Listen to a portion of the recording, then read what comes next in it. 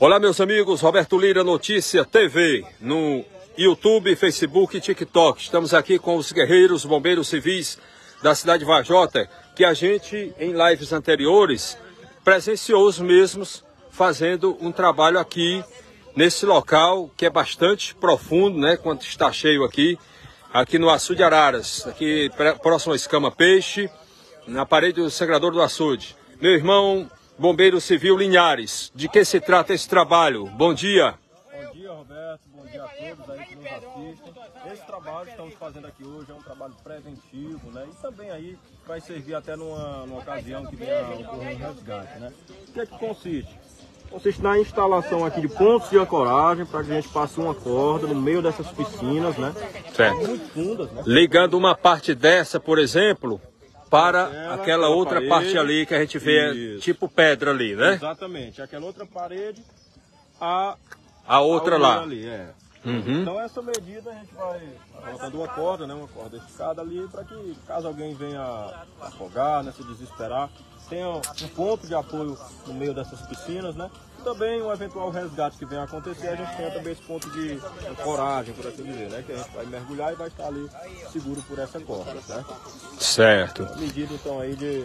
Preventiva, né? Preventiva, uhum. Medida preventiva de segurança mas deixando claro para as pessoas entenderem que não é por isso que ninguém vá facilitar ou se arriscar, né? Esse o motivo disso é exatamente para em caso de algum incidente, algum problema, ter mais facilidade de alguém ser socorrido ou a, a, própria pessoa se ajudar, porque no momento tiver uma corda, em algum momento ela, isso pode ajudar ela, até sem a presença de vocês. Mas é claro que com a presença de vocês né, facilitaria melhor né, algum socorro e evitar o mal maior, não é isso? É o que sempre falamos, né, Roberto? É importante que você siga as nossas orientações, né? Obedeça às ordens da, dos bombeiros e dos policiais que estiverem aqui, porque apesar de terem, é, é, de ter essa segurança, de estarmos instalando aqui essas medidas, a prevenção, o cuidado, né, é o maior aliado aí nessas horas, para que você possa se divertir, possa apreciar, prestigiar esse momento tão bonito que é a Sangria do Açude,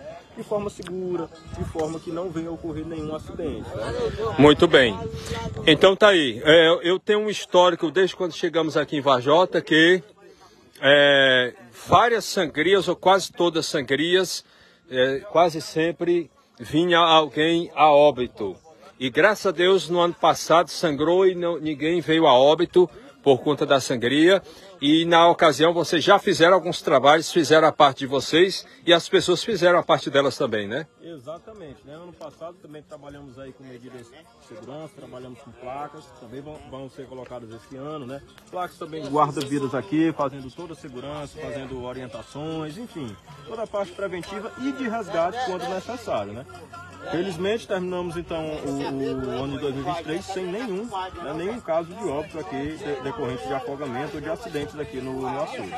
Pronto, então em primeiro lugar a gente agradece a Deus, mas com certeza vocês fizeram a parte de vocês também e as pessoas fizeram a parte delas para que evitasse males que aconteceram em sangrias anteriores, em outros anos passados. Então, parabéns pelo trabalho de vocês aí, sempre ligados, sempre atentos, mas deixando bem claro, siga as orientações, né? Vocês estão fazendo a parte de vocês, vocês vão poder ficar, vão ficar aqui o máximo que puderem, mas não vão poder ficar de plantão 24 horas por dia, 7 dias da semana. É impossível.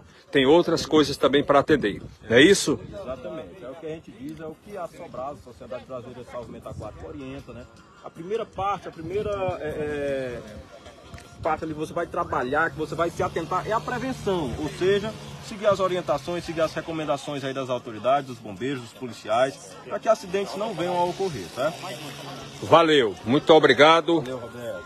Parabéns aí pelo trabalho. Conversamos com o BC Linhares, aqui ao lado do BC Willy.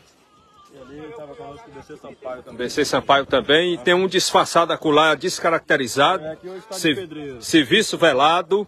É... BC Hermano. BC Hermano. Tá esse serviço velado. Tá, como é que chama também? É, tá a paisana. É, tá a paisana. É. Né, o Hermano tá a paisana. Mas tá sendo ali um, um grande engenheiro, um pedreiro profissional. Valeu, meus amigos. Forte abraço. Tá aí, portanto, gente, vamos seguir as orientações, né? Devagarinho, comendo pela beirada no bom sentido, é melhor do que se afoitar, como a gente diz no popular, né? Por aqui, os amigos do Sistema Paraíso de Comunicação de Sobral, né? Rádio Paraíso, né? E outros veículos. Pronto, fazer aqui a reportagem, como acabamos de fazer. Curta, comente, compartilhe, pessoal. Roberto Lira Notícia TV no YouTube, Facebook e TikTok. Vamos mostrar aqui um pouco mais de cima. Olha só as águas do Açude Araras já transbordando em algumas partes da parede do sangrador do açude.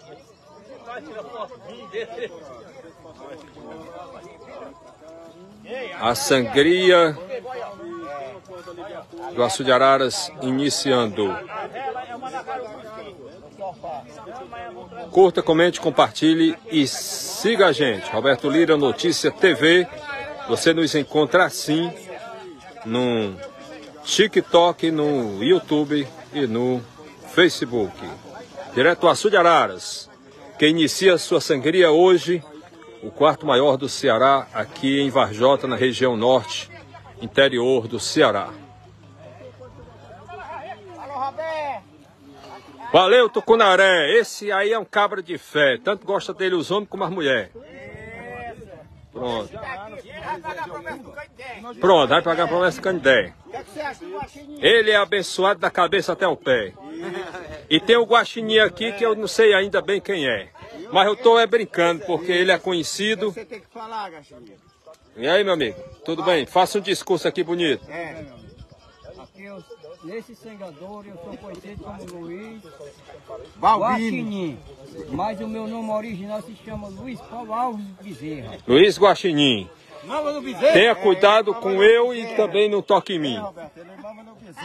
Mama no bezerro? É. Rapaz, isso aí é complicado, né? Não, tem que mamar na vaca, que diabo mamar em bezerro, rapaz. E ali é a turma do sonho, ó, Roberto. Aqui, é? Aqui, Rapaz. Sonho, É tudo, é guaxinim da mata, olha. Olha que peixe bonito. Da mata ali, ó. Da mata. Guaxinim da mata. É. Guaxinim? É, é, né? Rapaz, o homem tá, tá com raiva, tá cegado, viu? Aqui é o pai da Jurema. Ah, é, né? Eita, cuida. Rapaz, eu comi, co, comi uma melancia boa aqui na barraca da Jurema. Mas é, aqui é Jurema mesmo? Ah, a Jurema é aqui, do outro lado, né? Ah, essa aqui é a Jurema original. Comeu até melancia, né, Roberto? Agora comi melancia, pessoal. Valeu, obrigado aí, Tucunaré.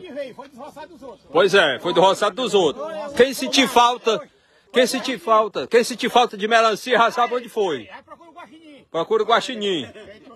Toque nos outros, mas não toque em mim.